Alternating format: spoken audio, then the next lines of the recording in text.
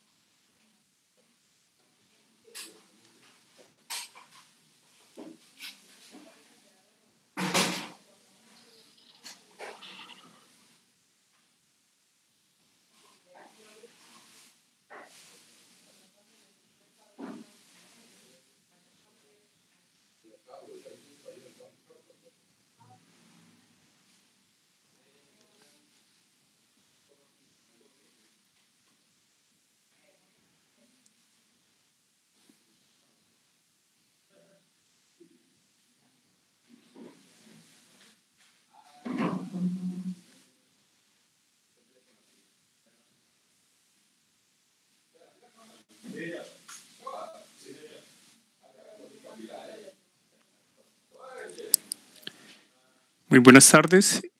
Le damos la bienvenida a todo el público que en este momento se encuentra conectando a la transmisión liderada por el Semillero de Diversidad Forestal. Eh, les anunciamos que en cinco minuticos eh, estaremos dando inicio a la charla del día de hoy. Gracias de nuevo por estar ahí conectados.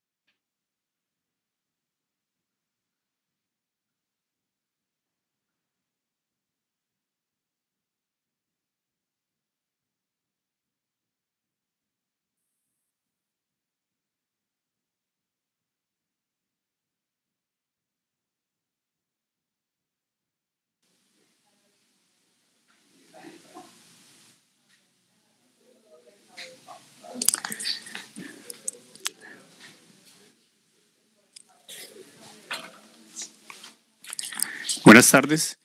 El Semillero de Diversidad Forestal, adscrito a la Universidad Distrital Francisco José de Caldas, tiene el gusto y el agrado de invitarlos a esta, nuestra sexta sesión de la serie de conferencias virtuales denominadas Biodiversidad Florística Colombiana a la espera de ser descubierta.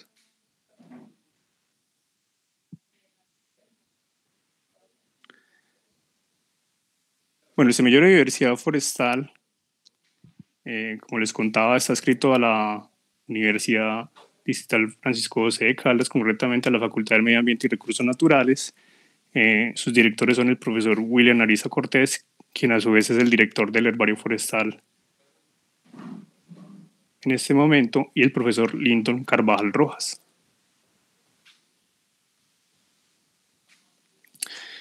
El semillero de diversidad forestal tiene cuatro líneas de trabajo básicamente, caracterización florística y estructural, fenología, propagación y una línea de productos forestales no maderables. Tiene, eh, cuenta con algunos espacios donde se desarrollan todas estas actividades. El primero es el Parque Natural Chicaqui, ubicado en el municipio de San Antonio de Tequentama, Cundinamarca, la Reserva Natural Las Palmeras en Cuba Ralmeta y el Herbario Forestal US de la Universidad Distrital. Recordemos que el Herbario Forestal se integra por dos secciones, la de criptógamas, ubicadas en la sede Macarena, y la sección del herbario forestal ubicada en la sede de Vivero. En conjunto, la colección del herbario forestal está integrada por aproximadamente 70.000 ejemplares, de los cuales el 94% eh, están virtualizados, hablando de la sección forestal.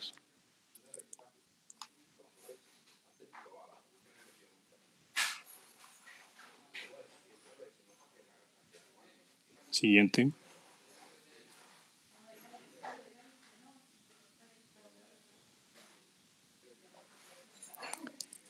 Siguiente. Bueno, en el día, en, en esta oportunidad, en esta, esta charla del semillero promovida por el Semillero de Diversidad Forestal, nos acompaña Sebastián Moreno. Sebastián Moreno nos va a dar una charla titulada Revelando el secreto de las plantas a través de la fotografía. Sebastián Moreno es biólogo botánico de la Universidad ICESI en Cali con énfasis en conservación y restauración de ecosistemas.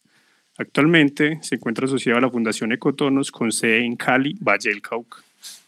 Sus investigaciones se han centrado en la taxonomía y conservación de las orquídeas colombianas, con más de 20 especies descritas especialmente el género Lepantes. Se destacan Lepantes vargasí, dedicada al reconocido botánico colombiano William Vargas, Lepantes anchicayae, Lepantes microcalodiction, endémicas ambas para la, región de Anchicayá, Valle del Cauca, Lepantes botivana, recientemente descrita, endémica de las altas montañas de Guatavita, Cundinamarca, eh, Sebastián ha sido parte del comité editorial de Species Orchidacearum, Iconos Colombian 1, eh, donde se describieron especies como Epidendrum melinantum, Maxillariela vulcanica, Ontoglossum crispum. Actualmente trabaja en diferentes proyectos fotográficos con las familias Melastomatáceas y Orquídeas. Sebastián Moreno, muchas gracias por hacer parte de este espacio y por aceptar la invitación. Bienvenido, Sebastián. Eh, muchas gracias por la presentación, muchas gracias al semillero por, por, la invitación, en especial a, a Luis Eduardo Anaya, que, que, tuvo el gusto de invitarme y, y, hacerme parte como de estas charlas que ustedes han, han venido teniendo. Eh, voy a hablarles un poco entonces de, de cómo ha sido por así decirlo, el, eh, mi, paso, mi paso en la botánica eh, a través de la fotografía y cómo, y cómo esa herramienta que es ahorita muy, muy necesaria, una herramienta muy poderosa ahorita para, para mostrarle al mundo muchas cosas, para abrir ojos, eh, me ayuda a abrirme muchísimas puertas en el, en el, mundo, en el mundo de la biología y sobre todo en el mundo de, de, la, de la botánica. Entonces voy a contarles un poco de, cómo fue, fue, mi historia, cómo empecé fotografiando y cómo, cómo decidí seguir, seguir haciéndolo y seguir mejorando, mejorando el proceso. Entonces, eh, para, comenzar, para comenzar las charlas, quisiera hablarle eh, antes de cómo, cómo ilustrábamos las, las plantas, antes cómo, cómo, cómo se ilustraban las, en especial las orquídeas. en esta charla voy a hacer bastante énfasis en, las orquídeas, que es mi, grupo de interés, pues, y es el que más, el que soy experto. Y también vamos pasando por un poco de, familias en las que me he ido metiendo poco a poco.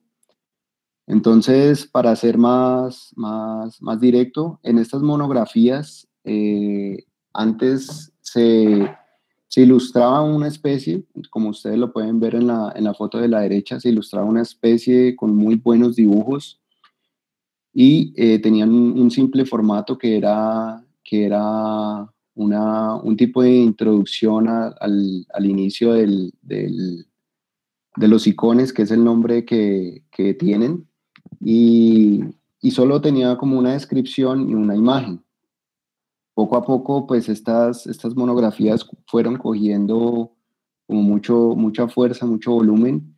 Y estos icones no solo se, se, se, hacían en un país, sino que se hacían en casi todo, casi todo Centroamérica hubo, hubo esta creación de icones. Y por ejemplo, este, este icones que es el, el, el de Eric Hacksatter, que es, es el del género Epidendrum. Eh, son icones que son muy informativos, presentan muchas ilustraciones y además de eso nos, nos brindan bastante información para, para, para, poder identificar especies. Y lo mismo fue, fue pasando con, con, con las, las, las, mismas monografías, pero ya en otros formatos, en formatos de ilustraciones donde, donde se recopilaba bastante información. Eh, nada de esto, nada de esto, pues es como para mostrar algo malo porque nosotros lo seguimos usando y es de muy buena información pero es algo muy, muy, que se queda mucho en el, en el rigor científico, en que una, una, persona puede entender un dibujo de esto si, está, si se ha metido mucho al género o si se ha metido mucho a los géneros, ¿ya? Entonces, entonces para una persona como una persona normal, eh, no va a ser tan llamativo, no va a ser algo, algo como nosotros, como que a nosotros los biólogos nos, nos interesa.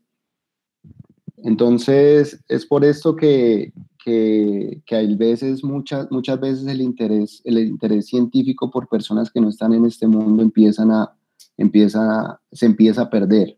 Y es ahí donde, donde podemos tener varios errores en, en, en la ciencia. Entonces, un ejemplo que les, que les, que les voy a mostrar es, es del, de Epidendrum macrostachym. Es un, es un epidendrum que, que se encuentra prácticamente en los páramos de Colombia. Eh, este epidendrum se pertenece al grupo que tiene un grupo especial que llama el grupo Macrostachym. Y este epidendrum se ha confundido mucho durante, durante cientos de años, por así decirlo, en, en, en todo, en todo Sudamérica, donde personas encontraban especies muy similares al, al, al tipo de la especie. Entonces, encontrábamos en, en, Colombia Epidendrum macrostachym y le llamábamos lo mismo.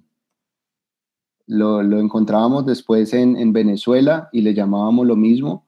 Y todas las, fichas de herbario y todas las, las, colectas de herbario siempre quedaban con el nombre de Epidendrum macrostachym porque las flores son muy similares, eh, no se conocía mucho el, el trabajo anteriormente, eh, no se había como, como como acercado ni, ni había un detalle preciso de, de, del complejo de estas especies, porque pertenecen a un grupo donde, donde prácticamente son, son, son muy similares eh, y que solo a, a, través del ojo de un experto se puede dividir.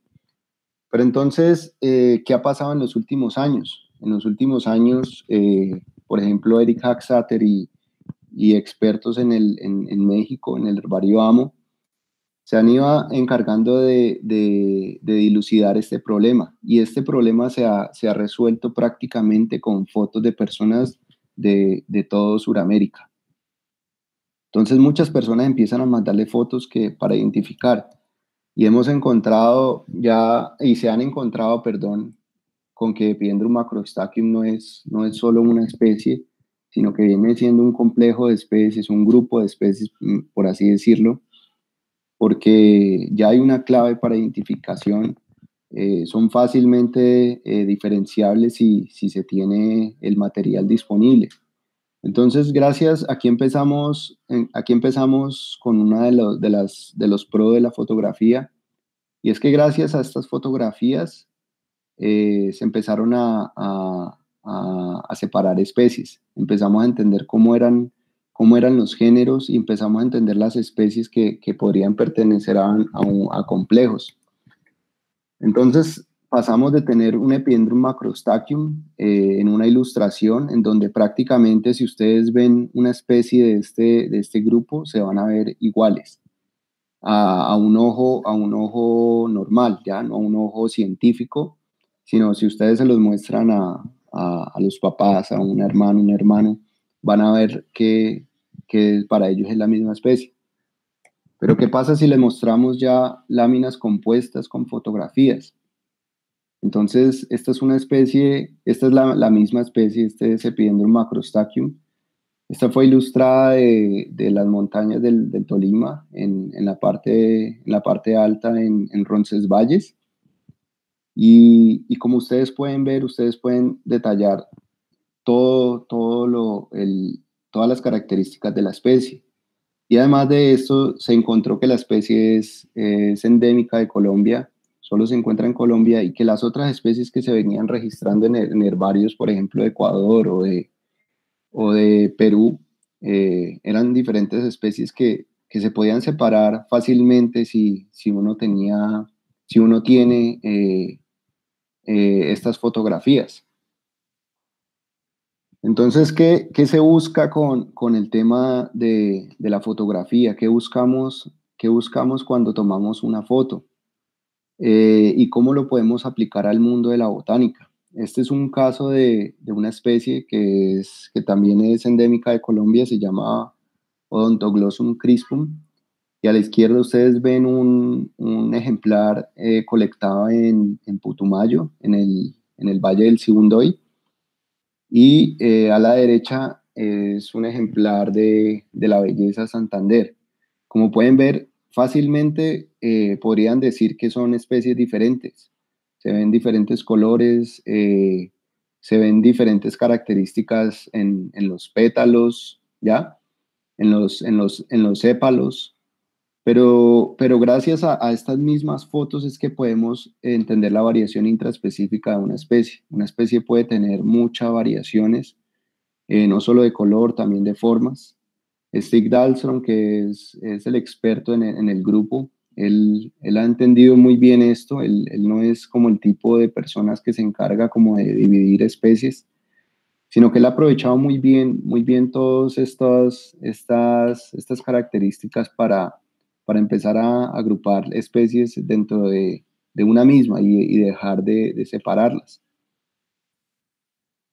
Entonces, aquí pueden ver en detalle cómo, cómo la ilustración fotográfica nos va a ayudar para entender dos especies que, que, que se pueden ver eh, diferentes. Entonces, si ven, si ven los detalles en el labelo, pues no, no, se ve tan en detalle aquí, en, tan lejos, pero si ustedes pueden ver, tiene la misma, la misma función, tiene la misma forma, ¿ya? Las variaciones pueden ocurrir en el color, pero las partes importantes, que son las partes sexuales, las partes que, que, se fijan más en este tipo de especie, claro está, porque en algunas miniaturas no, no es lo mismo, eh, podemos entender que, que, es la misma especie. Entonces aquí es, es, donde pueden ver el labelo, si ven los tipos de callos, ven, ven las callosidades arriba, tienen, la misma estructura y cumplen y deberían cumplir la misma función para los mismos polinizadores. Entonces, eh, para, para, pasar desde la historia, son descripciones que empezaron con simples, con simples dibujos que, que eran ese tiempo, en ese tiempo no había, no había forma de hacerlo, pero se podían detallar algunas, algunas algunas características como las que ustedes pueden ver en el ovario, un, ovario con, muchos, con mucha pubescencia, muchos pelos. Después eh, pasamos a ilustraciones mucho más eh, detalladas, eh, ilustraciones que, que, que nos, nos, siguen ayudando y son más ilustrativas para nosotros, pero que, que siguen siendo para, para los investigadores y, no para, para que podamos mostrar al mundo sin, sin una fotografía. Y llegamos ya a, a, láminas compuestas en donde pasamos de tener un dibujo de un pétalo, un labelo y una flor eh, cerrada a, a, tener ya algo más, más detallado. Y, algo de esto es, es, muy importante que se puede rescatar y es que yo, yo sigo eh, como, como un tipo de filosofía y es que yo creo que, que a la vista, o sea, a la, a la vista nosotros podemos distinguir entre especies, ya, o podemos al menos cuestionarnos si son diferentes, pero, pero a través de, de ilustraciones botánicas de antes no, no, no podemos hacernos tantas preguntas, no podemos cuestionarnos. Y es, y es, entonces donde podemos empezar a diferenciar las especies. Por ejemplo, este es el, el género Sigmorquis. Eh, son especies que son muy pequeñas, son especies de, que se dan en los guayabos y son especies que todo el mundo las ve y, y, les pone solo el nombre de una especie que, que, por lo general siempre dicen que son Sigmorchis pusila. Este es un género de cuatro especies que, que con una ilustración que es muy informativa eh, se puede hacer trabajos muy buenos, pero para mostrar a una persona no, no se puede, no se puede eh, hacer algo más allá. Gracias a la ilustración podemos ver que las cuatro especies son muy diferentes. Como les digo, simplemente a, la, a, la, a, la, a, la, vista, a la vista simple, podemos ver que cada especie tiene sus características diferentes. Entonces, si nosotros conocemos al menos cómo se ve viva la especie, podemos entender, entender muchas cosas. Incluso podemos mostrarle a las personas que, que, que lo que están viendo no, no, es, no es una especie, sino, sino que son muchas. Entonces, por ejemplo, arriba pueden ver el, ejemplo de las, de las cuatro flores que les mostraba, que las pueden comparar ahí. Y abajo pueden ver las características que se detallan en las columnas. Por ejemplo, en este caso son columnas que, que se le llama que son aladas por, por, la forma como de alas que tienen en los lados. Y pueden ver cómo varían la forma de las columnas. Fácilmente se puede diferenciar las especies en este tipo de, de de, fotografías. ¿Qué, podemos también, qué, eh, podemos también ver de todo este tipo de información que, que, podemos obtener de una foto? Podemos entender cómo, cómo, cómo se representan unos polinios, que los polinios son eh, como fundamentales para ciertos grupos de, de, de, especies dentro de la familia, cómo se ven las anteras, podemos registrar el estado de un fruto, de una orquídea, eh, y podemos detallar cómo se puede ver el, el, labelo y la columna que son esenciales en, en, en orquídeas para identificar especies. Entonces, eh, un ejemplo de esto es especies Orchidacearum y Cones colombianae. Eh, esta es una propuesta que hemos hecho con, con el grupo de investigación Schultes es el grupo pues, que, se ha encargado, que nos hemos encargado prácticamente de, de sacar adelante las orquídeas colombianas. Entonces, este es un ejemplo eh, de empezar a retratar las, las, las orquídeas colombianas, de empezar a, a, mostrar cómo se ven, de empezar a, a mostrar cómo, cómo las podemos diferenciar. Eh, las acinetas, por ejemplo, son un género que, que que se han, se han confundido por, por las variaciones, que se han confundido por los colores, pero, pero es por, por lo que también hemos, hemos creado cierto tipo de, confusiones por las descripciones, por las descripciones que todavía, todavía no hemos entendido las especies y sobre todo es porque no hemos, no hemos tenido el tiempo para, para ilustrarlas. Entonces, la propuesta de, de las especies Orchidacearum es es empezar a ilustrar la mayor cantidad de orquídeas para que la gente pueda conocer, para que estén a la mano, ya para que no tengamos eh, descripciones eh, de 1800 o, ilustraciones de, mediados de, de, 1900 y podamos tener eh, ilustraciones de alta calidad que, nos, que le permitan a cualquier persona identificar una orquídea en campo. Eh, una, eh, gracias a esto de, de, los especies orquidacearum, lo, hemos hecho, lo hemos hecho a través del, del Jardín Botánico Lancaster. Eh, cuando empezamos esto, nosotros, cada uno de nosotros tenía, tenía como cierto tipo de, de lámina o cierto tipo de, información que todavía no, no, sabíamos cómo retratar. Hasta que empezamos a ver las láminas de los investigadores del Lancaster y, empezamos a tener contacto, incluso contacto con ellos.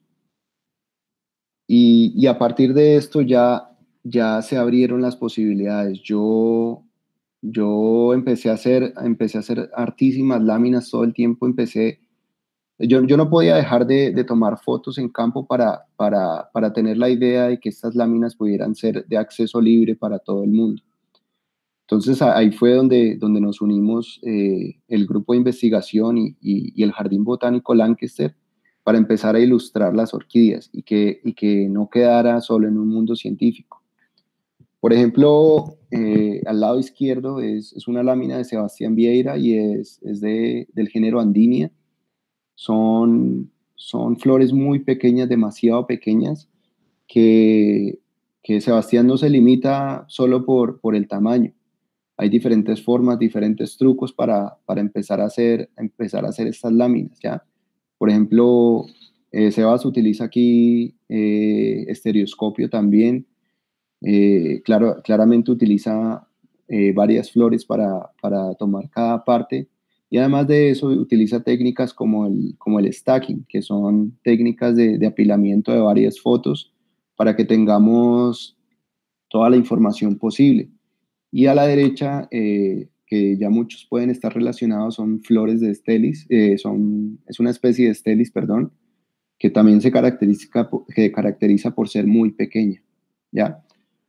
Entonces, gracias a esta propuesta eh, de la especie Orchidacearum y, y, y, de tener como toda esta, esta, esta posibilidad de mostrar, he venido desarrollando muchísimas láminas. Eh, prácticamente yo no, yo no puedo salir a campo sin, sin la cámara y sin un flash y sin una regla, que es, que es lo que se necesita para, para, para hacer estas láminas. A partir de la primera lámina, que, que incluso fue, me, me, la corrigió Adam Carremans de, del, del, jardín, eh, empecé, empecé de ahí en adelante a, toda especie que colectaba, era como, como mi bitácora de campo. Yo, yo, para serle sincero, mi bitácora se ha ido disminuyendo un poco porque pues el trabajo de campo de, de, de, describir y, y, describir la especie, la he cambiado por, por, por, la fotografía de cada una de las especies, porque me demoró pues un poco más de tiempo, así como algunos botánicos eh, llegan de campo tipo 4 de la tarde, 5 de la tarde y pueden durar hasta la 1 de la mañana eh, montando sus, sus especímenes y, y colectando todo el tipo de información, lo mismo pasa con orquídeas. Eh, y no solo con orquídeas, lo mismo pasa con, con, con todas las plantas a las, a las, que se les puede hacer lo mismo. Además de esto, ¿qué, qué, qué podemos ver o qué podemos detallar con, con, la fotografía? Con la fotografía podemos empezar a, detallar procesos de polinización, procesos que son muy difíciles, por ejemplo, para la familia. Son, son, son extremadamente duros uno estar pendientes de, de, lo que pueda pasar en, en, en, la polinización de las orquídeas. Pero con, con, las, con las fotos incluso podemos identificar a, a, los polinizadores, podemos identificar si es un polinizador o un visitante floral. Por ejemplo, la foto de, de, de la izquierda es un, es un polinizador, se, se, se, detalló completamente. Y a la derecha solo tenemos un visitante floral. Yo estuve esperando a ver si, si había más interacción, pero pero esta mosquita simplemente se fue. Entonces, además de esto, podemos brindar información a personas que lo estén utilizando. Por ejemplo, toda esta información se ha, se ha compartido a las personas que, que, que, siguen trabajando en, el tema de, polinización, en el tema de, la evolución de, los de las flores, de las, de las especies y, cómo ha sido su, radiación. Eh, entonces, como, como, como, me presentaban, eh, yo me especializo mucho más en el género Lepantes, un género que es muy, muy pequeño. Eh, esta flor que ustedes ven ahí, pues es, una foto de, sigue siendo una foto de Sebastián Vieira y es una foto que, que ustedes solo van a ver en, en este estilo, pues así macro, eh, acá, porque si ustedes tienen una especie de, de lepantes en sus manos, ustedes solo ven algo muy, muy pequeño. flores que pueden estar entre, entre los 2 milímetros eh, máximo 5 a 6 milímetros y es muy difícil diferenciar especies así. Pero con la fotografía podemos empezar a cuestionarnos, incluso podemos empezar a diferenciar. Entonces, tenemos posibilidades de ir mostrando cómo las especies son tan diferentes, cómo podemos ir, ir preguntándonos si, si es una especie nueva, si pertenece a un complejo de especies y si, comparten otras características con, otros grupos. Y todo esto se puede conseguir gracias a, la, fotografía. Por ejemplo, mi primera Lepantes fue en, en, Apia, me acuerdo mucho que la compartí en Facebook para ver quién, quién la podría identificar y simplemente eh, no, no, se podía identificar, no, me dijeron que no, que, que era Lepantes SP, es algo es algo que a mí, a mí me, me duele bastante porque yo, yo no soporto la idea de, de, no conocer el nombre de una especie si, si tenemos tanta, tanta información para, para, para detallar. Entonces, en los herbarios, cuando ustedes van a, van a, van a ver especies de lepantes, todas son las mismas, todas es, es la misma, la misma plantica, eh, porque pueden pertenecer a los mismos grupos y sin una flor detallada ustedes no pueden saber nada. Nosotros hemos, trabajado, hemos estado trabajando con, con Esteban y los demás investigadores del grupo en, en, un formato en donde, en donde los herbarios podamos empezar a, a, a, pegar estas fotografías. Lo podemos pegar en la misma lámina o podemos hacer un voucher de, de las láminas de las especies para que nos quede mucho más difícil o, les quede mucho más difícil a, los, mucho más fácil, perdón, a los investigadores eh, empezar a identificar las especies. Podemos empezar a, detallar complejos de especies que, que, se pueden haber confundido durante muchísimos años. Y solo lo, estoy seguro que solo lo podemos hacer entendiendo las especies, viéndola, viéndola de la forma real.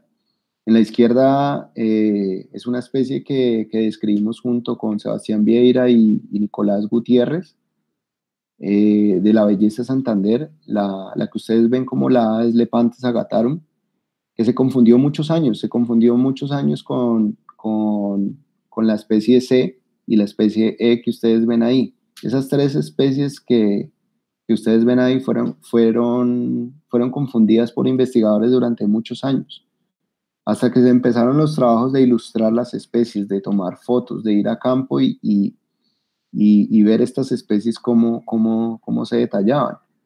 Entonces, al ver los detalles de cada una de las especies, empezamos a dilucidar estos complejos. Y a la derecha es, es también un complejo de, especies del género Speclinia que, que, que, fue, fue ilustrado por, por Diego Garín del, del Jardín Botánico Lancaster. Son estas, estos ejemplos de fotografía que nos, que nos han empezado a ayudar a, entender mucho más la familia.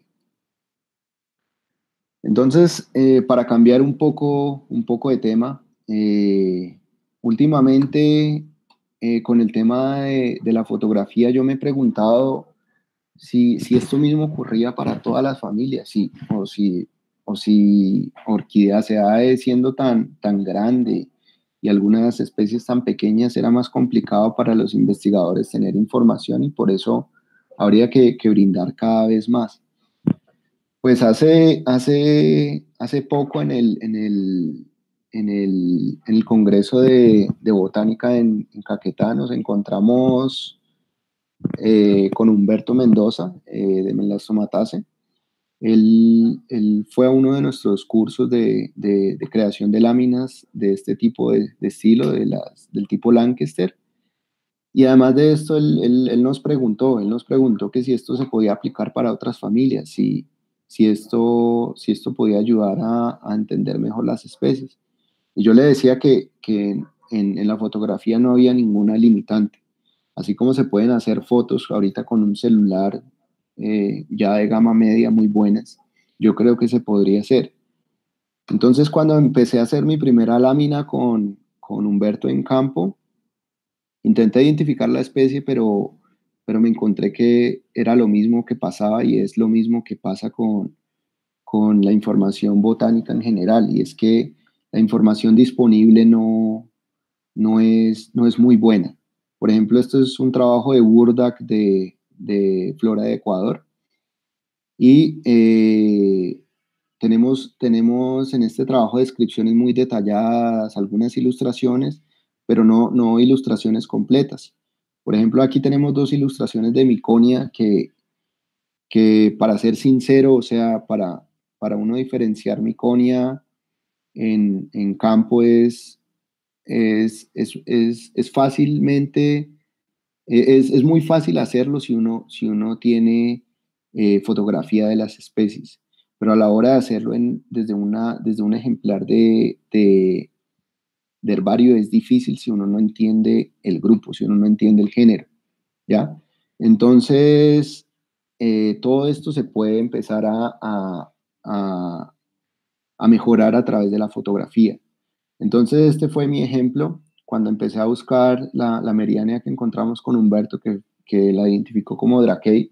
Yo sencillamente no pude porque no, no estoy involucrado casi en, en, con la familia. Apenas ahorita me vengo a entender muchas estructuras y muchas, y muchas cosas de, de, de las melastomatas. Entonces, en Flora de Burdak no hay ni siquiera una ilustración, eh, solamente está este, estas descripciones. Y como pueden ver en el texto de abajo, hay unas subespecies, que es la Drachei y la subespecie Chontalensis, pero solo, solo mencionan unas pequeñas características para diferenciarlas, ya que es muy difícil. También tenemos colectas de herbario, pero, pero con una colecta de herbario eh, que tenemos para una persona que no es experta en el tema sigue siendo mucho más difícil, cosa que cambiaría si al menos podemos entender eh, eh, la especie, si podemos ver una foto de la especie, si podemos ver en una de esas láminas de herbario unas tres foticos pegadas arriba, ¿ya? O incluso tener una lámina. Y entonces es, es, es con esto que yo empecé a, a, preguntarme por qué no empezamos a, a dar más información a las personas sobre cómo se ve la especie. Entonces, decidimos hacer la lámina de la, de la meriania, eh, una lámina muy ilustrativa.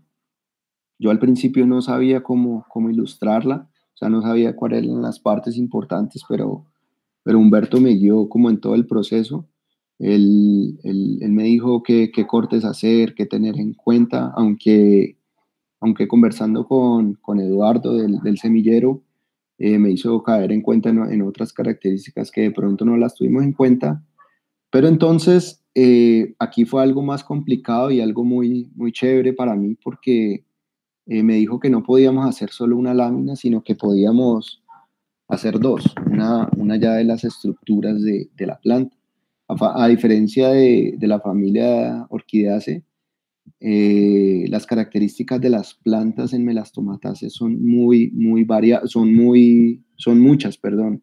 Entonces hay, hay, tenemos márgenes diferentes, tenemos venación diferente, tenemos eh, peciolos alargados, peciolos engrosados, y además de eso podemos comprender eh, cómo, es, cómo es la formación de un, de un de una hoja nueva, ¿ya? Eh, que es característica que es fundamental para, también para, para la descripción de especies. Entonces podemos ver eh, cortes longitudinales de, de, los botones florales, podemos entender eh, cómo se ven los estambres, cómo son en realidad sin tener que, que imaginárnoslo solo con las descripciones. En las descripciones, eh, por ejemplo, hablaban, hablaban del indumento que se, que se podía ver, en, eh, como ustedes pueden ver en, en, los pétalos. Es como un, un, indumento arenoso, ¿ya? Pero es muy diferente empezar a, a ver estas descripciones y empezar a, a, sentirlas cuando uno toma una foto. Por ejemplo, algo que, que, que pudimos detallar con, con Humberto en, en, la figura B, que es la del estambre, es, es, es, el estambre, un estambre que se puede ver como, como costado, ya como, como, como con costillas. Eh, se puede ver eh, muy, muy fácil el ovario. Incluso se, se puede usar esta ilustración eh, como base para, para empezar a, a, mostrar la, la, especie en Colombia.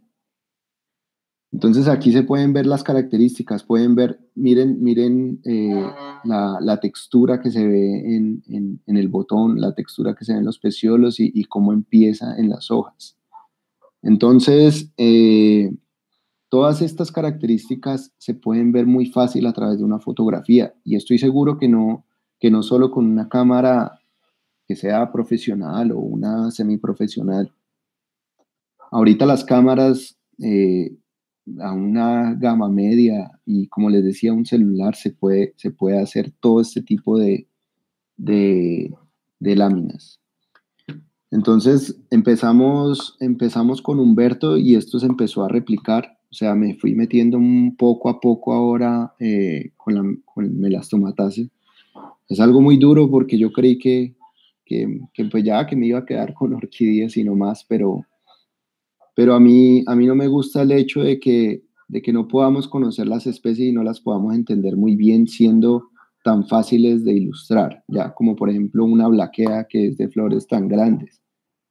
Entonces, eh, yo me puse a la tarea, incluso me, pues me dije mentalmente que, que, había que, que, sacar esto adelante ya, que podríamos empezar a ilustrar, no, no sé cómo hacerlo, no sabía cómo hacerlo, y, y podía empezar a, a, ilustrar al menos las partes, eh, al menos las especies de esta, de esta familia sin, sin aún conocerlas, ¿ya?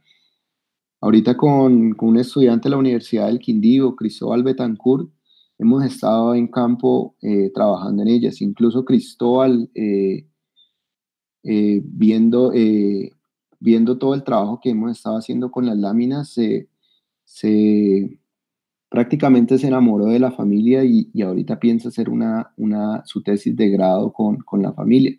Incluso yo le propuse que, que usara toda, todo el tipo de información necesaria para que, para que siguiéramos haciendo lo mismo, para que, empezáramos a ilustrar las especies. Entonces, pueden ver eh, como se veía en la, en la, de, la, de la meridiana, se pueden ver el tipo de venación que hay en los pétalos, se puede ver la disposición de los estambres, la, la posición del pistilo y el estilo, eh, los ovarios, eh, el hipantio muy bien disectado. Y podemos empezar a, a, a, detallar que, que las descripciones pueden empezar a cuadrar mucho más fácil que empezar a hacerlo desde, desde una lámina de herbario. Eh, por ejemplo, esta, esta fue una de, de, mis primeras fotos de, de, melastomatas. Esto fue en, en, en, Río Blanco, en Manizales. Esta fue Meriania tomentosa. También había, había otro problema con otra especie, no me acuerdo en este momento el nombre, pero Humberto me, me dijo que con la foto se podía detallar perfectamente cómo diferenciar la, las especies. ¿ya? Eh, y que gracias a, una simple foto ya, ya se podía conocer, se podía conocer cómo se veía bien la especie. Eh, también se puede aplicar para, para géneros eh, como miconia, como los dibujos que ustedes veían al principio. No solo tener una, una, un dibujo de la planta con, con las partes disectadas, sino empezar a conocer cómo se ve la flor en realidad. Muchos de los dibujos que yo he visto en, en Melastomatase, que son muy buenos, pero por ejemplo hace falta una, un dibujo de, la flor completa. Nosotros lo primero que vemos en estas especies es la flor, a menos de que, de que ya se, se, se herboricen. Eh, ahí nos toca hacer un, proceso mucho más eh, eh, detallado y minucioso para, identificar especies, que, estoy seguro que, muchas veces esto, esto lo puede hacer solo el, el, experto en la familia. Entonces tenemos diferentes variaciones, eh, diferentes márgenes. En esta miconia, me, corregirán si, si no es del género miconia, eh, algo muy, muy chévere que, nos, que quisimos ver con, con Cristóbal fue, fue, fue que, que era de, de, muy pegajoso. Todas las partes de la miconia eran demasiado pegajosas. Y yo le dije que con una buena foto macro podíamos ver por qué. Y ahorita les voy a mostrar cómo se veía. Entonces, aquí está el trabajo de, Humberto y Ramírez, que, es un, trabajo muy bueno, un trabajo muy ilustrativo, muy bueno, pero, pero que, podemos, que podemos mejorar, podemos mejorar durante todos estos años para que no, no solo se queden los investigadores que, trabajan con la familia, sino que lo podamos mostrar al mundo. ¿ya? Y al mundo me refiero a personas que no están involucradas en la ciencia netamente, ¿ya? Eh, entonces, aquí esta es una, muestra de la figura, me perdonarán la, eh, cómo se ve pixelada, pero pues es lo, más detallado que pude del libro de, de Melastomatase de Colombia. Entonces tenemos diferentes formas, diferentes tamaños, eh, no podemos ver variaciones de colores, pero podemos entender los estambres en los diferentes géneros. cosa que ahorita podríamos mejorar, como, como lo ven en la figura. Por ejemplo, eh, creo que a partir de B, C y D hacen parte de estambres de, de miconia, diferentes especies de miconia, que podríamos diferenciar fácilmente. Cada una de estas tres especies eh, de, de, miconia eh, se, puede, son, son diferentes, se pueden diferenciar con los estambres muy bien y uno va a recordar este tipo de imágenes, uno va a recordar los colores, uno va a recordar las formas, si la imagen es muy ilustrativa, si hay colores, ¿ya?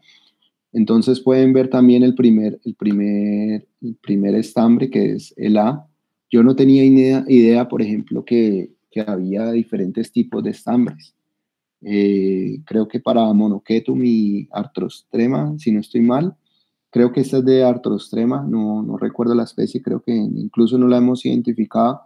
Eh, se pueden ver este, estos dos tipos de, de, estambres. Yo no sabía de eso.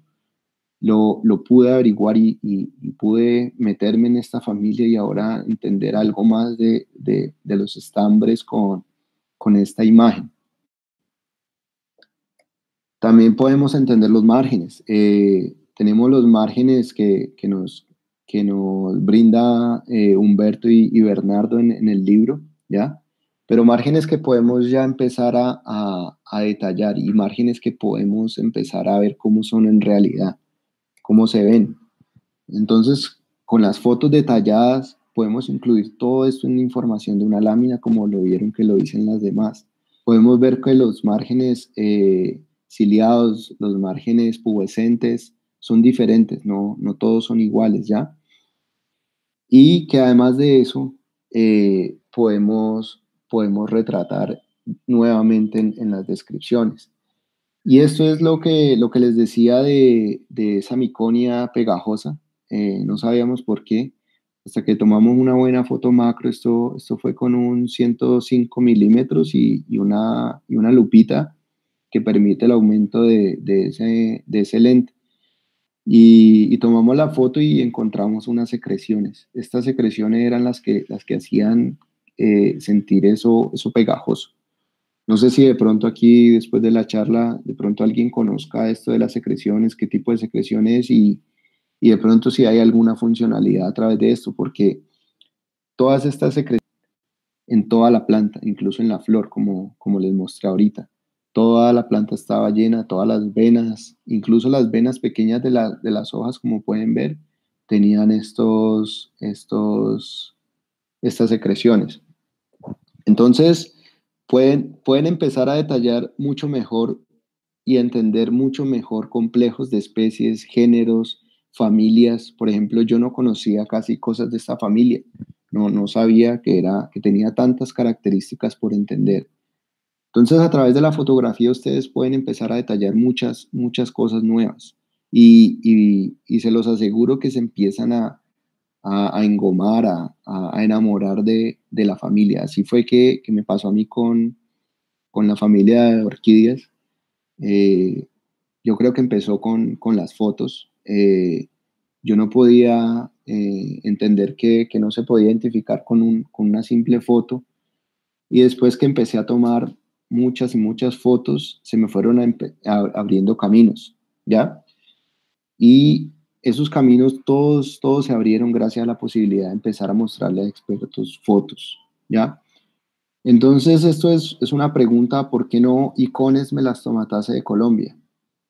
¿Por qué no? ¿Por qué no hacerlo? ¿Por qué no, no empezar a, a ilustrar nuestras especies colombianas? No solo, bueno, obviamente pongo Melastomatase por, los ejemplos que ya les he mostrado, pero ¿por qué no hacerlo con otras familias que, que hay dificultad para, para, para entender, entender las especies, ¿ya? Entonces, esto es una, una, una pequeña propuesta. Eh, de pronto, de pronto van a ver algo en los, en los, siguientes meses. De pronto podemos madurar la idea y de pronto podemos empezar a ilustrar las especies de melastomatase para que las personas que están empezando, por ejemplo, los semilleros de investigación, eh, uno como estudiante, uno, uno siente mucha impotencia cuando uno no puede identificar una especie, uno no, o uno la tiene que dejar en, en SP. Eso para un taxónomo es, es, es, algo horrible. Yo, yo no podía con eso y uno, uno hasta, hasta tiene pesadillas con eso. Hasta que le, eso mágicamente se le aparece en, la mente, en los sueños y, y uno logra, logra hacerlo pero ¿por qué no, no facilitar este, este, este trabajo a, los, a los investigadores de las próximas generaciones?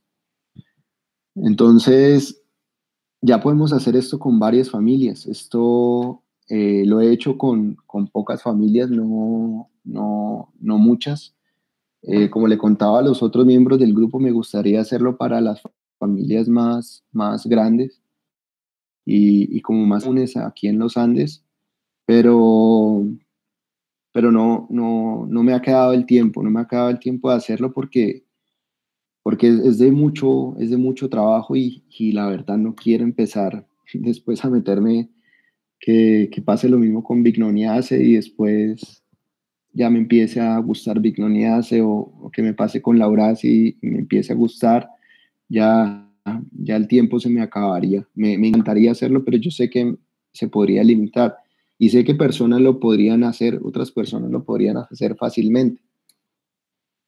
Por ejemplo, miren esta, en esta foto, eh, yo no tenía ni idea cómo era, cómo era la flor de un tecoma, nunca había, solamente lo veía en los jardines o lo veía en el campo, pero nunca me, me, me, paraba a detallarlo, nunca habría una flor, hasta que un día, pues, eh, consecuencias de esta pandemia, eh, decidimos bajar, esa, fue con, con, con, Astrid, mi esposa, eh, decidimos bajar, bajar a, hacer la lámina del Tecoma Stand y no teníamos, no teníamos nada que hacer prácticamente, era eso el, el principio, el inicio.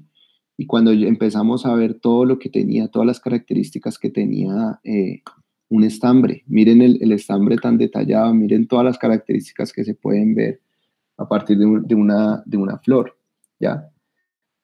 Y, también se puede aplicar para muchas familias. Esto, esto lo está haciendo eh, un amigo de Costa Rica, eh, eh, Marco Cedeño. Marco Cedeño trabaja con el género Monstera. Y algo muy interesante de Marco es que Marco, como yo, hacemos las láminas en campo. Todas las láminas que ustedes ven son hechas en campo, bueno, menos la del Tecoma, son, son, son hechas en campo. Hemos estado ahí donde ustedes ven esas flores, han tenido un, proceso eh, tedioso algunas veces de, de, Photoshop quitándoles el fondo, porque no nos limitamos. Lo bueno del tema de la fotografía es que uno, uno se vuelve muy creativo, ¿ya? Es uno se vuelve muy creativo para quitar los fondos, para, para empezar a, a, a, ver cómo se pueden salvar las partes.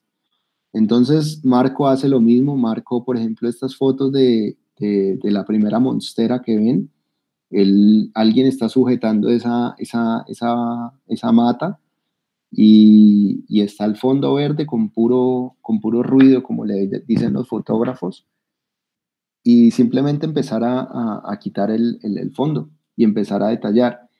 Y lo más interesante es que las partes, por ejemplo, C, D, F y H, que son de frutos, eh, eh, anteras, estambres, todas las partes que son, que son macro, él las hace con un celular, con un Huawei. Eh, las, las, las, partes macro las hace con un Huawei que tiene una función macro muy buena, ¿ya? Entonces, se puede hacer con, con celulares, se puede hacer de forma muy fácil. Y, y como conversamos antes de, de la charla con, con Diego de, del herbario de, la Universidad Distrital, ¿por qué no empezar a poner eh, información como estas láminas en, en los herbarios? Eh, ¿Por qué no, no, no ponerlas eh, electrónicamente o, o, por qué no, no, incluir al menos una, una simple foto de las que podamos tomar? Ahorita una, una foto de celular se puede, se puede imprimir a muy alta calidad, ya, ya los celulares toman fotos de, de 12 megapíxeles para arriba, incluso ahorita unos de 48 megapíxeles. Entonces, eh, no hay excusas, no hay excusas ahorita para hacerlo. Y, y como les digo, de, de, todo esto, siempre, siempre va, va, va a importar es, es que todo esto se comparta con la gente, ¿ya? Que las láminas de herbario no queden para, para los que conocen qué es un herbario. Entonces, tenemos, tenemos mucho, mucho por hacer. Tenemos que mostrar esto al mundo, que, que vean las, las, las familias que tenemos y que no crean que es, que es una sola especie, ¿ya? Todos estos niños, estas personas que estoy mostrando, son personas que siempre buscan a uno en campo a que uno les muestre cómo se ve la planta.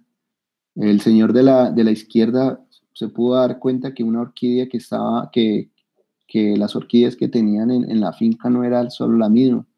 Él creía que era todo lo mismo, que, que todo se veía igual. Y es porque no, no, en, en, este mundo, en ese mundo en el que él se encuentra, no, no, no, hay, no hay posibilidad de ver, de ver eh, la, la, información que, que, nosotros, por así decirlo, los científicos, hay veces nos, nos guardamos. Entonces, al, al, pues al final de todo esto, quiero, quiero como decirles que, que para mí la fotografía fue, eh, ha sido una experiencia muy enriquecedora. Gracias a, a, las primeras fotos me he podido llegar a expertos para los, los jóvenes que están empezando en el mundo de la botánica y pues no solo en botánica, sino en, en todo. Eh, pueden llegar a, a, a, muchas, a tocar muchas puertas, a conocer muchas personas. Yo prácticamente conocí a, la, a, las personas con las que estoy trabajando fuertemente por ejemplo, estas personas del Jardín Botánico Lancaster, yo no, no fuera uno, por así decirlo, de mis, de mis, de mis sueños conocerlos porque yo solo veía muy buenos trabajos, pero nunca me trabajando con ellos, ¿ya? Y todo esto fue gracias a, a, a que he sido muy constante con, con, con las especies, ilustrándolas, eh, y además de eso he empezado a aprender a escribir. Lo más importante de todo esto es que uno también empieza a aprender a describir las especies, porque uno, uno, uno puede escribir cosas mucho más fáciles si tiene, si tiene buenas fotos. Y por último, eh, decirles que, que, podemos, que podemos seguir trabajando en, en la flora colombiana ilustrada. Eh, estas nuevas exploraciones, por ejemplo, de bio, nos han mostrado eso. Podemos empezar a mostrar al mundo eh, cómo, es, cómo es la flora colombiana ilustrada ya, y que no solo nos quedemos en, en, en, los materiales que tengamos de herbario, que yo sé que es de mucha información, yo no, no lo desacredito, pero, pero muchas veces se queda para los botánicos. Eh, muchas gracias, muchas gracias al, al semillero. No sé si tienen algunas preguntas. Eh, bueno, Sebastián, hermano, eh, A nombre del Semillero de Diversidad Forestal, a nombre de la Universidad Distrital, hermano, nada más que agradecerle. Realmente eh, nos tuviste absolutamente ensimismados en tu presentación, esas imágenes son fabulosas. Básicamente podemos observar el detalle y la complejidad de nuestra biodiversidad a través de esas hermosas fotografías. Yo creo que, y hablo a nombre de todas las personas a las cuales les agradezco pues haber estado ahí conectadas, eh, nos dejaste absolutamente eh, anonadados a todos. Y pues eh, vuelvo y te reitero mis felicitaciones, hermano. Espero que esta presentación que tú nos hiciste sea un factor motivacional para que mucha gente comience a procurar eh, esos niveles de detalle en la ilustración, esos niveles de detalle en la fotografía y poder documentar de una mejor forma nuestra biodiversidad. Eh, claro. Damos paso entonces, Sebastián, hermano, hay, algunas preguntas en, en, en, YouTube, hermano, nos gustaría que nos ayudaras con eso. Y nuevamente reiterarte eh, pues el agradecimiento, hermano, por tu deferencia y podernos acompañar aquí en este espacio. No, muchas gracias a ustedes, William. Un placer para mí. Muy bacano, hermano, muy bacano. Gracias. Adelante, Diego. ¿Quién va a las preguntas, por favor? Buenas tardes a todos.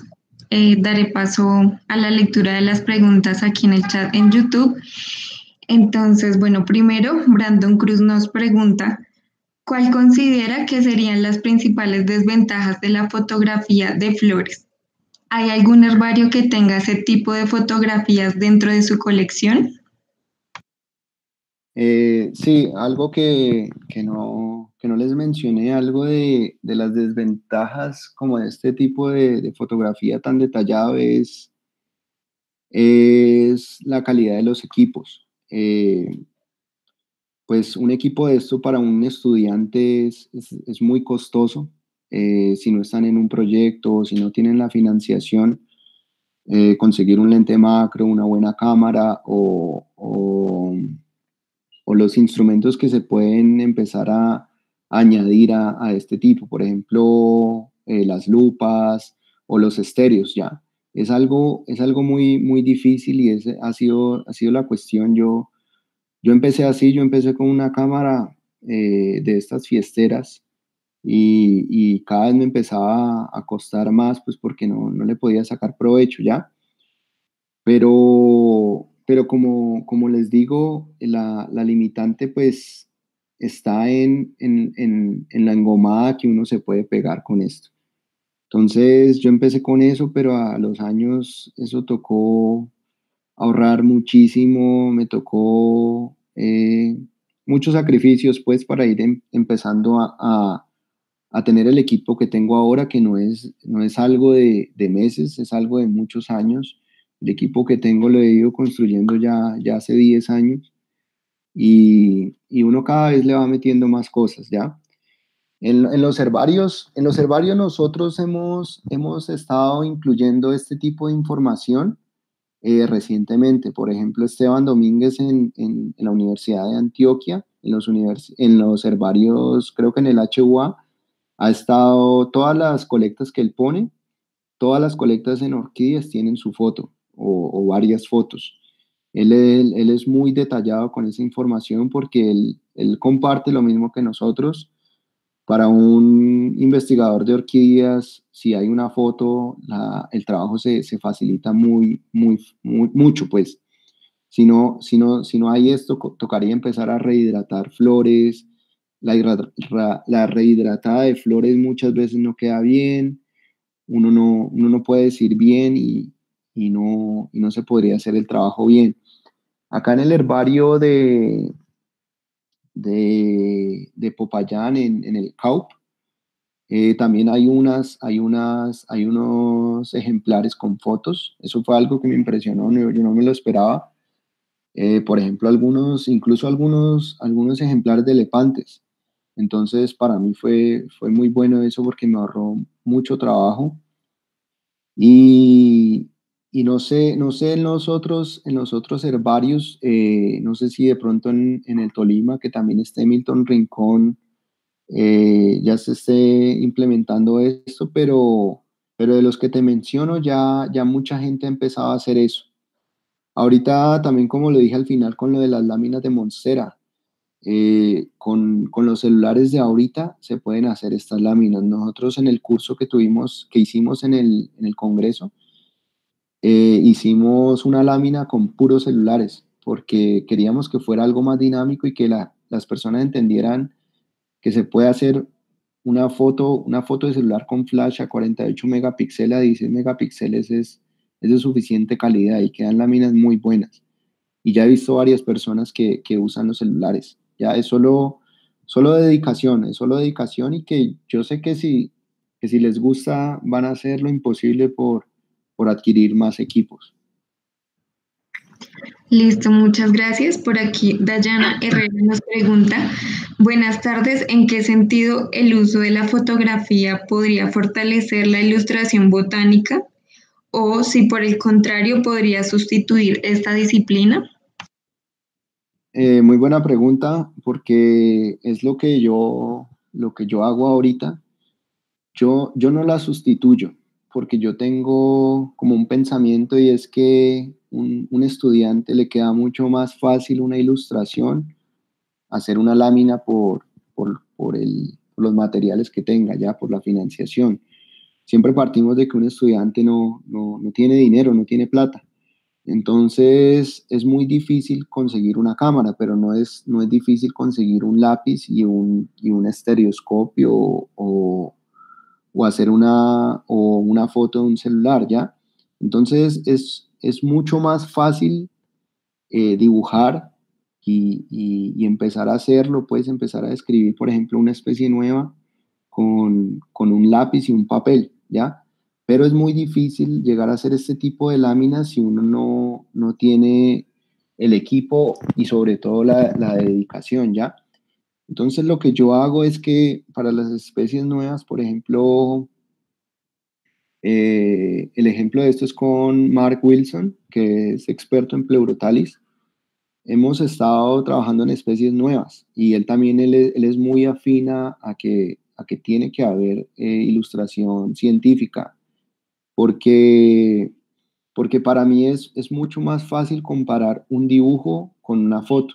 Entonces, si podemos tener un dibujo de un labelo a lápiz, lo podemos comparar con, con, el, con el labelo que se, que se ilustró hace 100 años, hace 20 años, en el tiempo que sea, ¿ya? Por ejemplo, Luer. Luer, Luer, todas las ilustraciones de Luer, que es el experto en pleurotalidine, son, son a lápiz. Entonces, entonces a uno le queda mucho más fácil poder comparar estas dos, las partes, si uno, si uno tiene los dibujos, ¿ya? En muchos casos se ha sustituido, en muchos casos la, fotografía poco a poco ha empezado a, a, sustituir las ilustraciones botánicas y eso, y yo creería que depende de, de, del investigador y del experto. Por ejemplo, en esta meriania que le mostré, eh, Humberto ya tenía el dibujo de la Meriana y me dijo que, que, podía sustituir toda la, ilustración porque, porque se veían todos los detalles y todas las características. No había un solo detalle que, que se pudiera hacer con, con, con, la ilustración. Lo mismo pasa con Eric Haxater en, en Los Icones de, de, México, de Epidendrum. Él empezó a, sustituir dibujos por láminas, ¿ya? Porque el una lámina es muy informativa, pero también él sigue usando eh, dibujos cuando, cuando las personas no tienen la posibilidad de hacer las fotos. Entonces yo les digo que, que eso depende del investigador y que, que por mí, por mí es que hicieran un trabajo muy completo donde se pudiera hacer también una ilustración botánica, ¿ya? También depende del tiempo y también depende de la, de la financiación de la persona, eso es muy cierto. Pero para que quede un trabajo muy detallado, de buena calidad, eh, siempre es mejor las, las dos cosas. Listo, por aquí nos hacen llegar otra pregunta. Eh, David Puentes Rondón eh, nos pregunta, algunas personas pasamos mucho tiempo en campo haciendo observaciones y búsquedas de individuos de diferentes géneros en familia orquidácea. Sin contar con una formación técnica amplia o más bien sin tener acceso a un colectivo, grupo de estudio, seminario, etcétera, para conocer los procederes técnicos que permitan aportar a la ciencia. ¿Cuál sería tu recomendación para poder hacer una gestión bien elaborada teniendo en cuenta eh, que en mi caso desconozco varios aspectos técnicos para realizar de manera óptima procesos como la elaboración de láminas y un estudio más profundo de lo que se encuentra en campo? Claro, eso es de las limitantes que yo les, que yo les comentaba sobre, sobre el tipo de información que, que se está, que podemos empezar a, a, sacar del mundo científico. Por ejemplo, personas como él no, no, no saben dónde buscar, esa es, esa es la problemática de toda persona, ¿no? Dónde empezar o cómo empezar, así, así, así yo empecé, cómo, cómo, cómo me aprendo todos los nombres de todas estas orquídeas o, o cómo, cómo hago, pues. Entonces, yo digo que, que la solución más sencilla a eso sin, sin tener conocimientos básicos, es, es, aprovechando todo este tipo de reuniones, aprovechando las redes sociales. Por ejemplo, ahorita a partir de todo esto eh, nos, puedes, nos puedes contactar. Eso ya es, es muy, un muy, muy buen inicio, porque si los expertos o, o, las expertas que están en, en, en, en las redes sociales son, se, están disponibles para ayudar a la gente, eso ayuda mucho a que, a que la persona se sienta segura de que está aprendiendo, ¿ya? Entonces, lo que yo te digo es que, es que nos empiezas a preguntar si no tenés el conocimiento eh, sobre, sobre las partes, eh, sobre la historia de, de, las orquídeas o de, los, o, de las, o de las otras familias y, y, que empeces a ser curioso. O sea, lo, lo, más importante cuando uno toma fotos es, es a qué le toma foto uno, ¿ya? Por ejemplo, así me pasó con, con, la, con la Meriania. Pero entonces lo, lo, mejor de eso es tomarle foto a todo, a tomarle a las fotos, eh, a las partes que, que, uno vea que son extrañas, por ejemplo, eh, a toda la planta, intentar tomarle foto a lo que uno más pueda para que uno cuando le pregunte a, a un experto cuando le pregunte a una persona que sepa del tema, eh, le pueda quedar mucho más fácil. Incluso si, eso es lo que yo decía, si, si uno toma muy buenas fotos, el mismo experto se va a empezar a interesar por esta persona, ¿ya?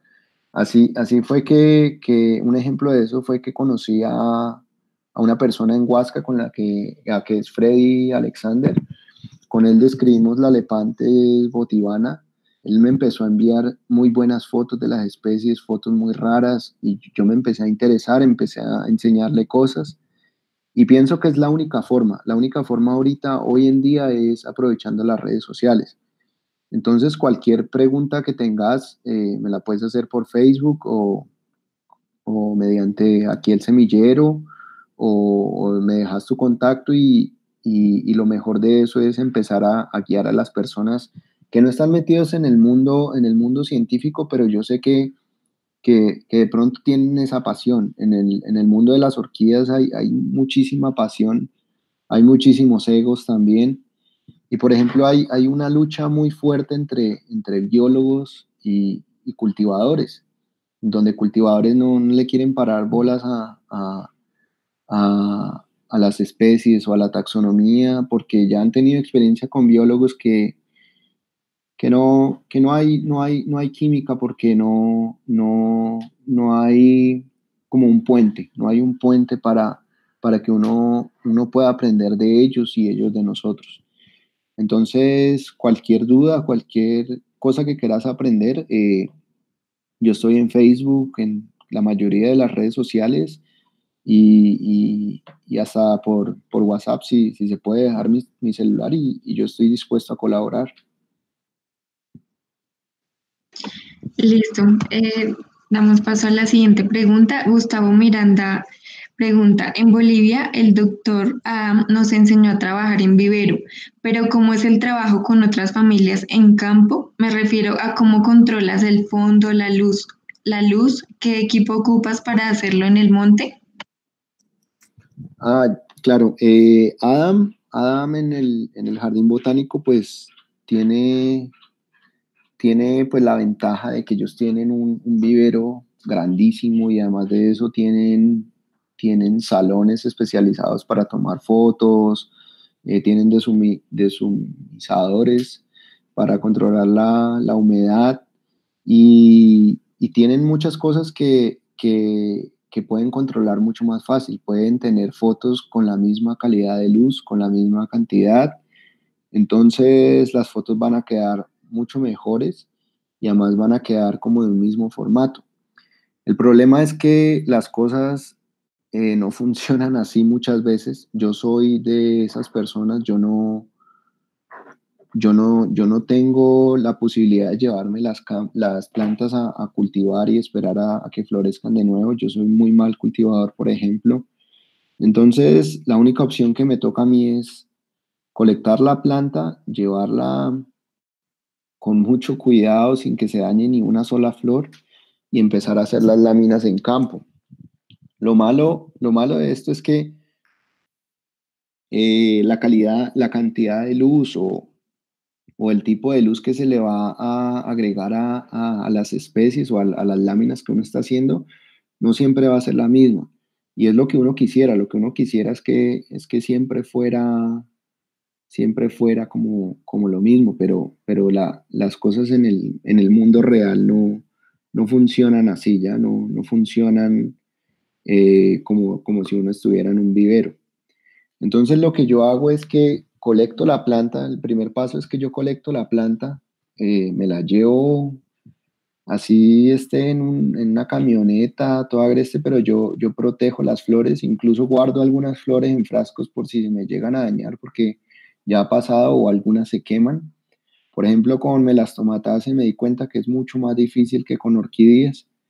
Con Cristóbal de la Universidad del Quindío hemos colectado plantas, hemos cortado las ramitas y, decimos que no la, hacemos cuando lleguemos al sitio. Pero cuando llegamos al sitio las melastomatases empiezan a, a deshidratar muy fácil. Las hojas empiezan a caer y las flores se empiezan a quemar, se empiezan a quemar totalmente, se empiezan a secar y se, ve como un, quemado. Y lo mismo pasa con los estambres. Entonces la única opción para, hacer eso es ver la planta y sacar el tiempo, el tiempo posible, tomar las fotos ahí en campo y, coger cualquier fondo negro. Yo, yo no tengo ninguna tela o debería, pues, pero siempre uno que va a campo, uno, uno no va como con este fin de, que sea perfecto, entonces yo agarro siempre como la primera camiseta negra que tengo y para las partes pequeñas, por ejemplo, de las flores, uso el, celular. El celular es el mejor fondo de negro que pueda haber. Si uno dispara el flash eh, como, como perpendicularmente al, celular, eh, el flash no se va a reflejar. Si uno se empieza a mover de hacia abajo o hacia arriba, el flash empieza a reflejar, pero si no, queda un fondo perfecto para, hacer las partes. Eh, en algunos casos uso, uso bisturí, eh, estos cuchillitos eh, chiquiticos para, las partes, pero si no lo hago, todo lo hago, lo hago con la mano. Si no, si no lo tengo ahí, si no lo tengo ahí, porque ha pasado muchas veces que yo no voy, yo no voy con, con con el objetivo de hacer láminas, pero, pero siempre resulto haciéndolas porque uno no sabe lo que se va a encontrar en el campo, uno no sabe si es una especie nueva. Entonces siempre llevar un kit. Yo siempre llevo una cartucherita donde llevo el kit de disección, llevo unas pinzas entomológicas para, para coger los polinios, los polinios que quedan ahí. Y utilizo una cámara, una, una Nikon con un lente macro un 105 milímetros y una lupa que se llama Reynox DCR250.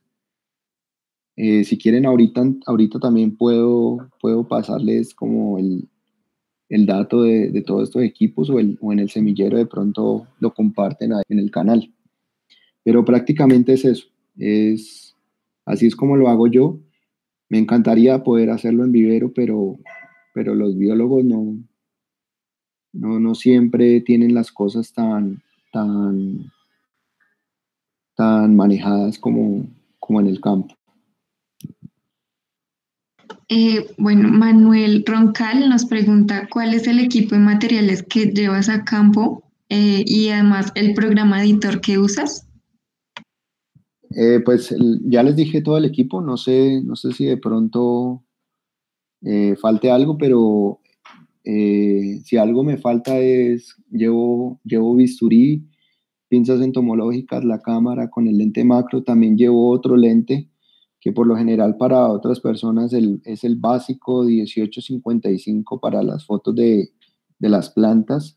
Eh, ¿Qué más? Eh, una camiseta negra o cualquier, cualquier cosa negra que ustedes puedan usar. Por ejemplo, cuando, cuando no tengo un fondo negro, simplemente uso el flash. Ah, tengo un flash externo con un eh, difusor un difusor básico puede servir que, el flash no quede tan directo y, lo, que hago es que pongo a una persona que, me sostenga la planta si es muy grande, que me la sostenga como hacia, hacia como se dice, como hacia el infinito, pues, eh, para que quede con el flash el fondo completamente negro, que no haya como, como cosas de colores ni cosas atrás, sino que con el flash si uno apunta como al cielo o a, una zona que no esté muy, muy llena de colores, va a quedar no negro completamente, pero sí completamente. Yo trabajo con dos, programas. Primero edito las fotos en Lightroom y, y, después las termino de editar en Photoshop. Entonces hago primero una primera editada en Lightroom, donde el programa me permite muy fácil eh, editar varias fotos a la vez. Y ya cuando tengo la primera tanda, paso todo eso a Photoshop, empiezo a, quitar el fondo eh, detallado, pues pongo todo en fondo negro y eh, arreglo algunas otras cosas, se pueden arreglar colores. Lo que preguntaban ahorita de la luz, lo malo de esto es que toca arreglar los colores por la luz, ¿ya? Pero entonces uno, uno puede calibrar todo eso, uno puede calibrar los colores, puede calibrar la exposición y es por eso tan importante el programa, eh, los programas en, en, la creación de las láminas.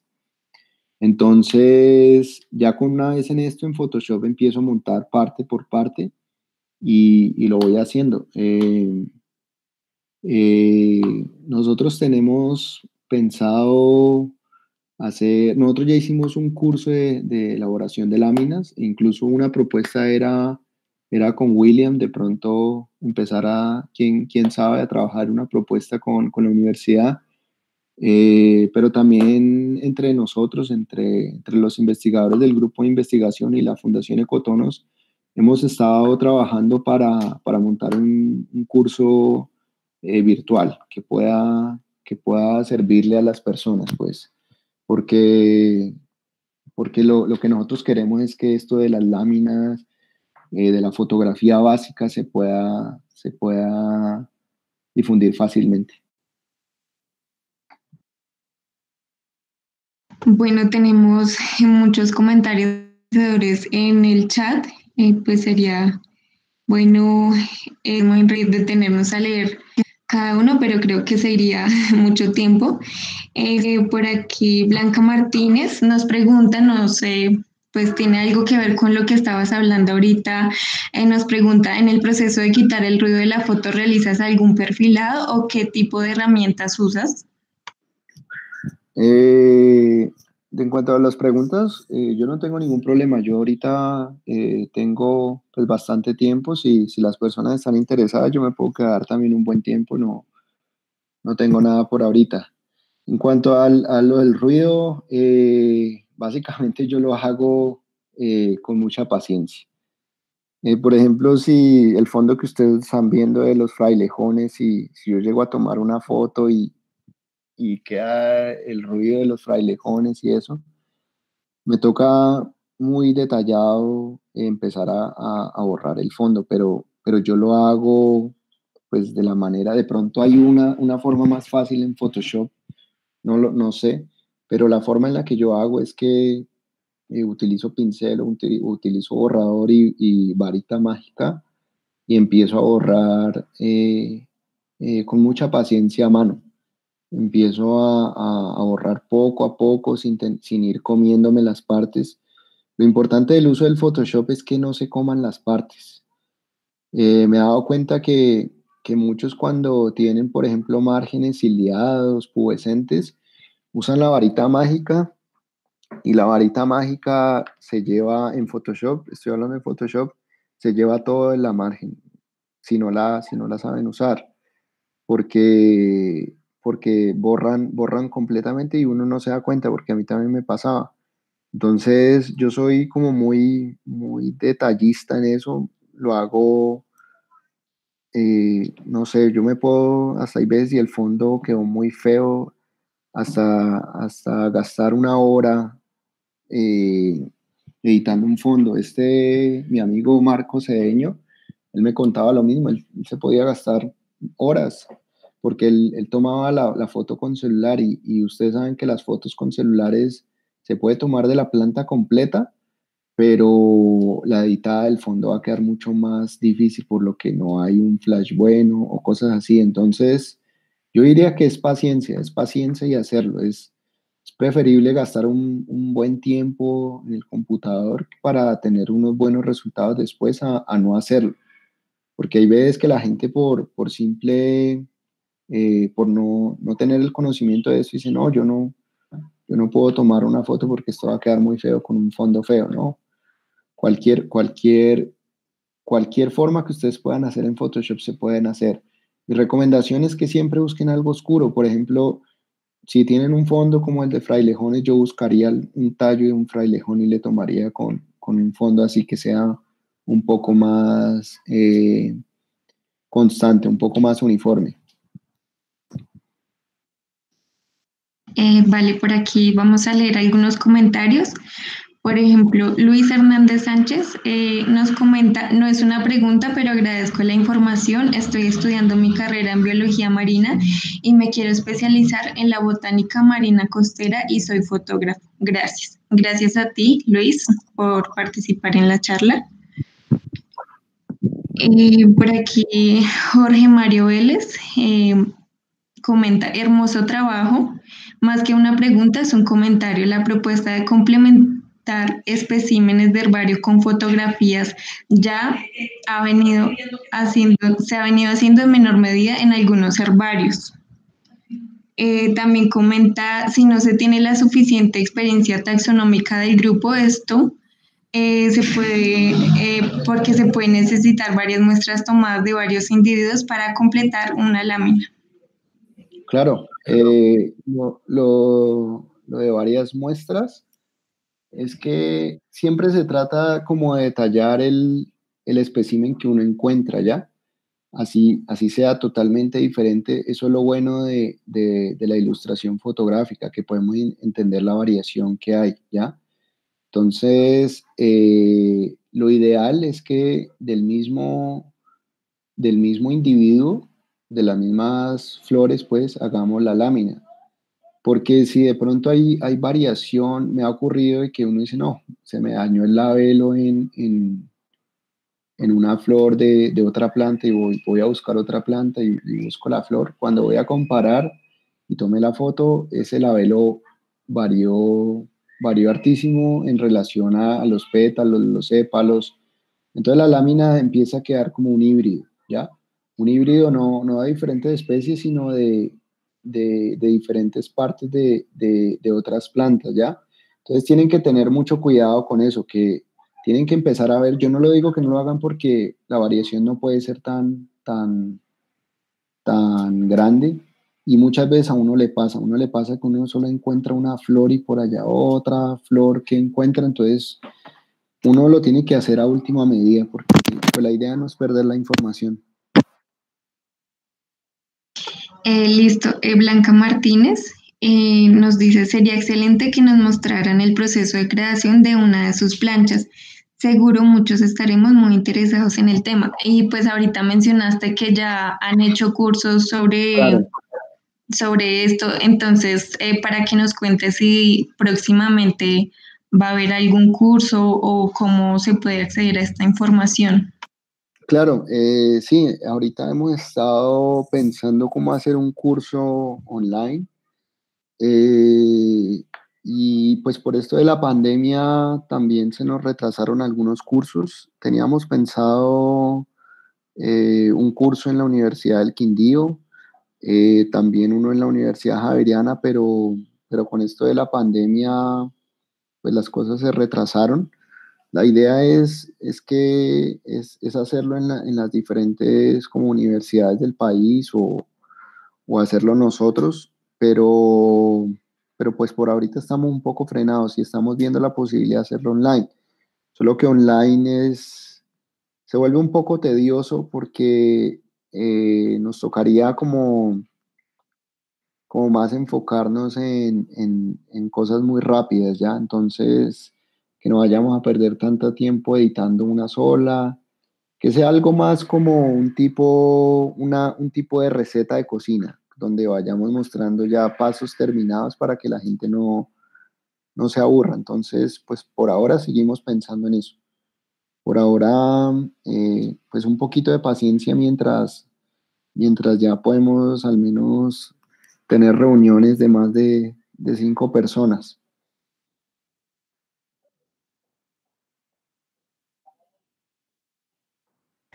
Vale, pues muchas gracias Sebastián em, y muchas gracias a todos los que participaron en esta charla. Doy paso a las palabras del profe William. ¿Estás ahí?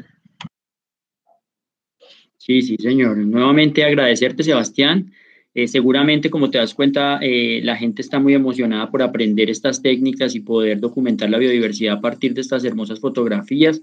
Entonces, seguramente eh, el potencial que tendrás para, para podernos capacitar va a ser grande. Yo, como te dije, estoy también interesadísimo. Vamos a, a tratar de hablar en, interno a ver cómo, cómo hacemos para, para tener acceso a todo ese maravilloso conocimiento. Claro, William, de una. Sí, sí, sí, de una. yo, yo estoy totalmente abierto a eso. Vale, Sebastián, ¿me puedes pasar por favor la, la diapositiva? Ya. ¿Esta? Sí. Siguiente, por favor. Listo, nuevamente eh, agradecerle a todos por su masiva participación. Tuvimos un gran quórum el día de hoy, estuvieron permanentemente más de 100 usuarios conectados en toda tu charla, incluso en la, en la sesión de preguntas se mantuvo la gente allí muy, muy pendiente de ti, Sebastián, así es de que nuevamente te agradecemos. Eh, ratificarles el tema de, de nuestro concurso para el logotipo del, del semillero.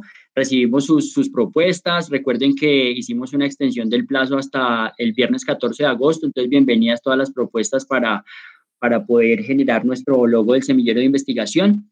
Eh, nuevamente reiterarles a toda la invitación a las redes y, y, pues como lo mencionó bien Sebastián, digamos que ese es un medio por el cual podemos eh, interactuar y generar redes alrededor de los diferentes temas. Un abrazo y un feliz, un feliz fin de semana para todos. Ahí están las redes, está nuestra próxima, nuestra próxima charla. Eh, tenemos el día jueves, a diferencia pues de las semanas anteriores en las cuales nuestro horario habitual era el día viernes. Esta vez tenemos charla el jueves, teniendo en cuenta que el viernes va a haber también una charla organizada por el proyecto curricular.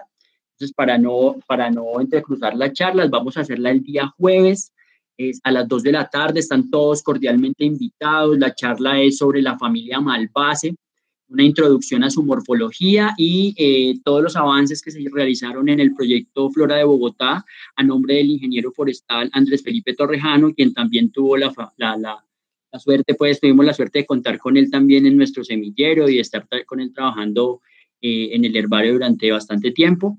Entonces los invitamos a todos el día jueves 16 de julio a las 2 pm eh, muchísimas gracias y un feliz fin de semana para todos. Sebastián, nuevamente muchas gracias y, y seguimos en contacto por interno. Listo. Muchas gracias a ustedes. Muchas gracias al semillero. Gracias.